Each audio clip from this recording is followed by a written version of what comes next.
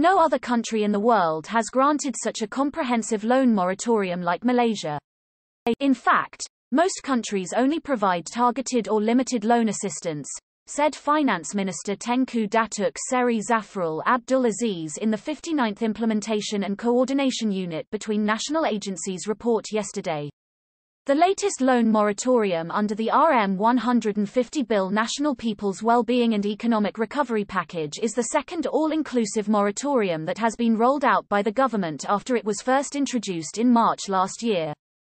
Tengku Zafrul stressed that the moratorium facility did not mean loans were forgiven but that there would be no compounded interest or no interest charged on interest.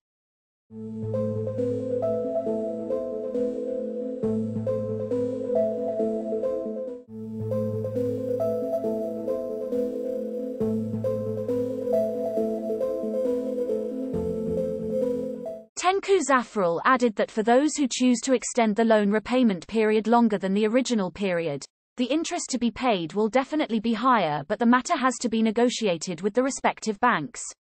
Any borrower who is still facing difficulties after consulting with their bank can contact BNMTELELINK at bnm.my slash rasurvey.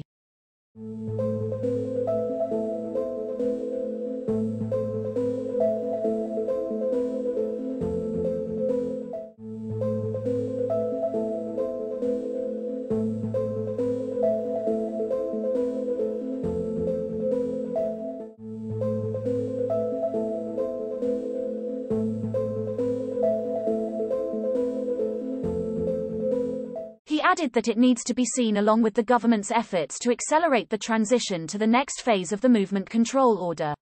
The six-month moratorium is offered to all individual borrowers and micro-entrepreneurs, without imposing conditions such as income reduction or job loss. No further documentation needs to be submitted and the borrower only needs to sign an agreement to amend the relevant loan terms. The moratorium package is estimated to provide a relief of up to RM80 bill to individual and business borrowers.